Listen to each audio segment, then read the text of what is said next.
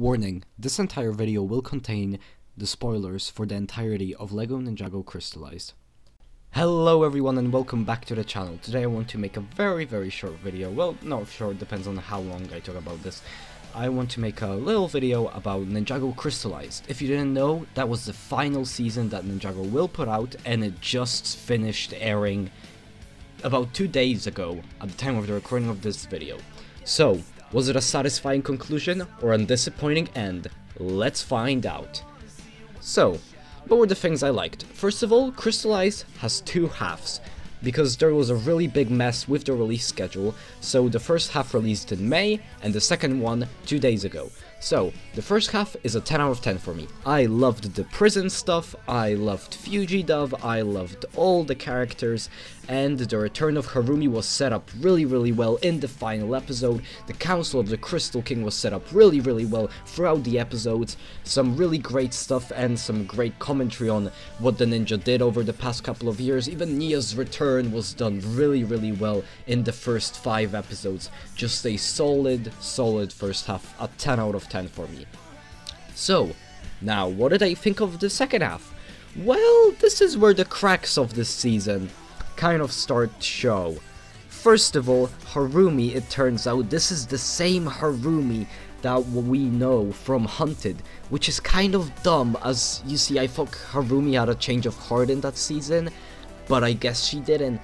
And, you know, I expected this Harumi to be the Prime Empire Harumi.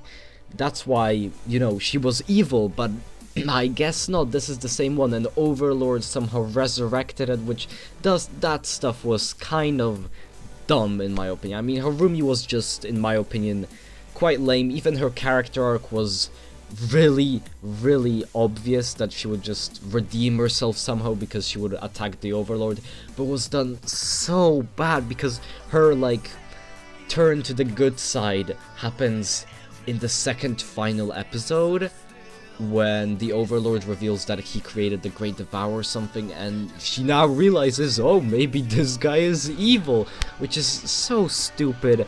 I mean, it just makes Harumi look like a complete buffoon, and it just underdoes her entire character arc in Hunted. So yeah, Harumi, big disappointment. So that was my biggest complaint most likely. But what are my other complaints with the second half? Well, there aren't really many. First of all, the, I mean, I guess the Ice Emperor stuff could have been done better, as I still think that the Ice Emperor is Ninjago's biggest missed opportunity ever, and it's honestly sad that they brought him back just to, like, make a couple of jokes in like two minutes and they title an entire episode about an entire episode about him which is really disappointing what are the other things though i didn't like and last quick thing, this is a very small gripe that I had, and this doesn't go to the second half, this can be also put as a criticism of the first half, and that is no Kruncha Nuckal. I expected for the final season for them to at least return as they were the first comedic duo. They didn't, the Skulkins didn't reappear, only Wyplash appeared for in the background, which is really sad and really disappointing. At least Kruncha Nuckals had apparently, apparently it says on the Ninjago wiki that they had like a reference, there was a reference to them in the monastery in Seabound. There was like a picture of them, so at least that. And yeah, just really sad and disappointing that they didn't appear, as they're still alive and we haven't seen them since season 4. So yeah, but the second half was still really, really solid, and let's talk about the final battle, you know, the, the final, final battle of all of Ninjago. Was it good? Yes, I would say so. It dragged a bit as it was like almost 10 episodes, I believe. So there were some portions of that battle when I was like, oh well, that's another episode where nothing will happen because the ninja won't just die in like episode 25. And the Overlord won't die in episode 25. So there wasn't really a lot of tension for most of the battle. And that is mostly because the episodes are 10 minutes. So you cannot really put a lot of stuff in those 10 minutes. But something that I did really love about the second half was Garmadon. His arc, amazing. Christopher and his relationship to him, amazing. The Oni 4, amazing. Garmadon easily was my favorite character because I still believe that he might be the best written character of the entire show. And his interactions with Lloyd were also really fantastic. Lloyd sometimes was a tiny bit annoying, but you know what? I still loved the two of them a lot. And especially in the final battle where Garmadon faked his death. Uh, but yeah, so the final battle with the Crystal King, was it good? Well, the ninja turn into like these dragon forms and they look really, really awesome. Even cooler than the Lego figures. And then they turn in, well, they don't turn into a dragon, their powers like turn into a dragon. And that dragon, basically, Lloyd commands it, and in two minutes he destroys the Overlord. And the final battle itself, I mean, it felt a bit short. You know, like for the final battle of the series, it was I, I, it wasn't disappointing.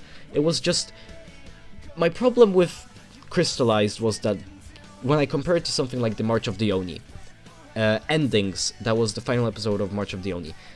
That was like that felt like the perfect conclusion that Ninjago could have had with the first Spinjitzu Master and the ninja uniting for one last time.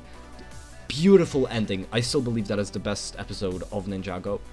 And that that service like not just as a perfect end to the Oni trilogy, but as a perfect ending to the series if the series ended. Meanwhile, Crystalized feels like an ending to the Wildbrain era and this season, but it doesn't really feel like an ending to the entire series, you know? And that's what disappointed me the most. I didn't get that feeling of finality. I got a feeling that, oh, the season ended and the Wildbrain stuff ended, but I didn't get a feeling that, oh, wow, all of Ninjago was ending. Which I guess could be counted as me being disappointed, but I still really enjoyed this season, and the final scene was emotional in my opinion. I really loved it. Garmadon turning to Christopher one last time and getting that montage of rebuilding the monastery. That scene was good because that scene actually felt like a final scene of the entire series and the shot of Christopher the plant that felt to me like oh wow Ninjago just ended. Yeah that's good.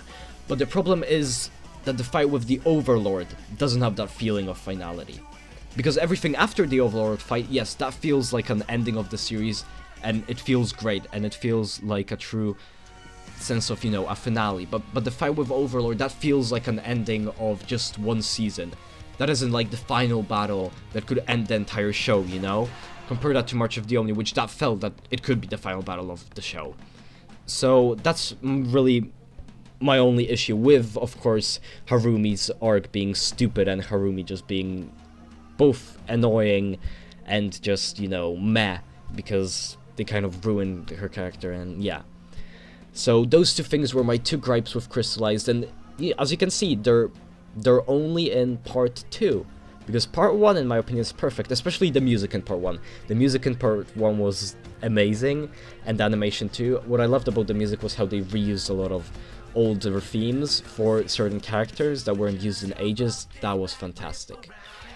So yeah, as a whole, I would give Ninjago Crystalized a solid 8 out of 10, and if I were to put it on my Ninjago ranking, I would say it's like number 6 out of 15. So I would say that's a pretty good spot. Maybe number 5, but I, I think more of a number 6.